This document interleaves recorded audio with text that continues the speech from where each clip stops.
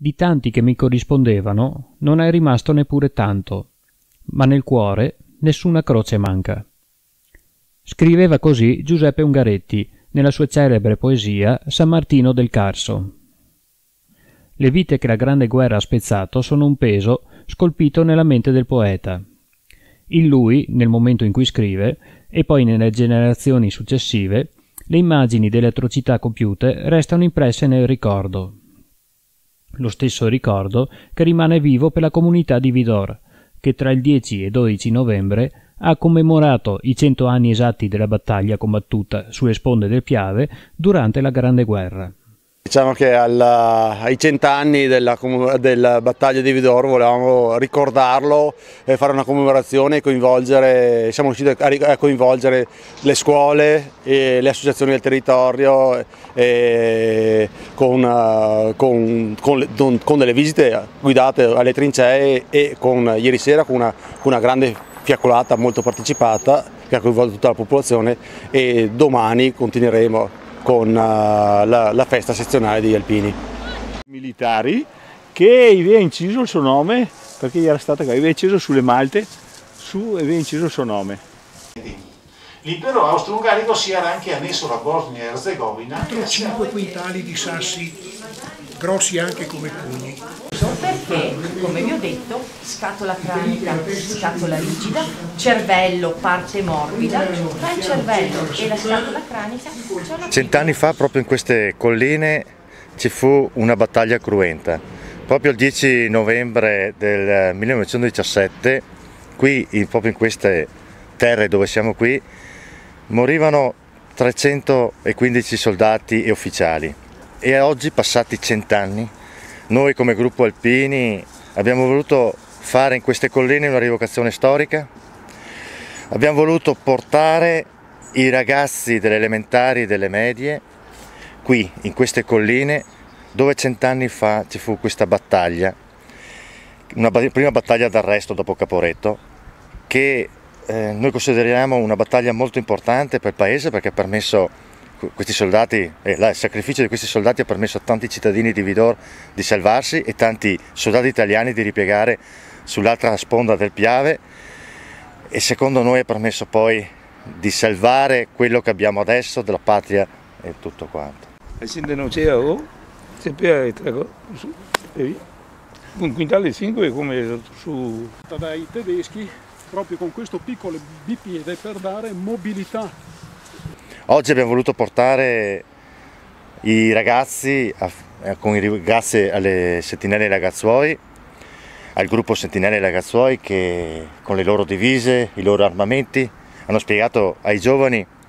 ai ragazzi come era la vita di Trincea, come erano le armi e come, come era la battaglia, ma sicuramente hanno, fanno una dimostrazione, non fanno veramente come era successo cent'anni fa. Ieri sera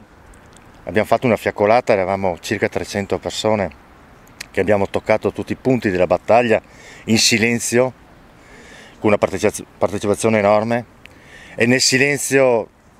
cercavamo di sentire come erano i rumori di cent'anni fa.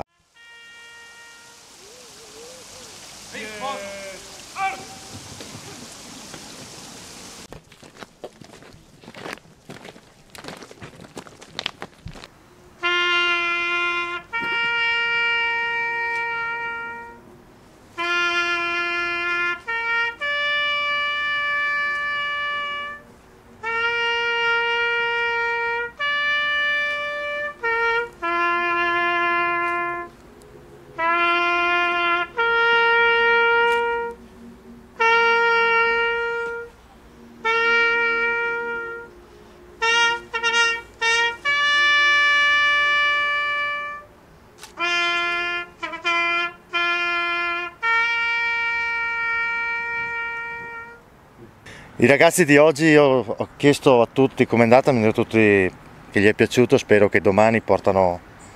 lunedì quando vanno a scuola, portano un bel ricordo, perché a tutti ho detto noi l'abbiamo fatto per voi, perché l'importante di questa manifestazione è ricordare per non dimenticare, loro sono la memoria nostra per il futuro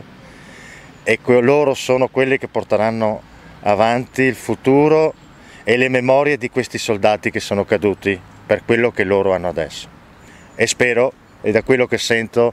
che il gruppo Alpini Vidorci sia riuscito in questo e sono convinto di sì perché vedo che tutti quanti ci stanno facendo dei grandi complimenti.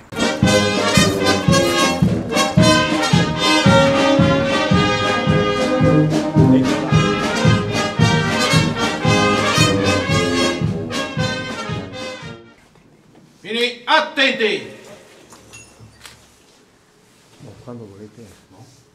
Sì, è giornata importante, importantissima per il nostro territorio perché abbiamo cominciato il giorno 10 perché il giorno 10 è proprio il giorno della battaglia di qui testa di Ponte di Vidor per, per eh, diciamo, a proteggere le truppe italiane che stavano arretrando dovevano attraversare le Piave. Allora noi abbiamo commemorato eh, diciamo, in tre giorni perché abbiamo invitato, abbiamo invitato il comune di Petrito, che è il nostro gemellaggio, dove ha ospitato i nostri cittadini come, come profughi, abbiamo invitato Imola dove c'è il capitano morto su, questi colli, Stefanino Curti, e il, il Pinerolo, il maggiore, che, Ippolito Banfi, che è morto su questo, proprio su questo collo dove siamo noi ora.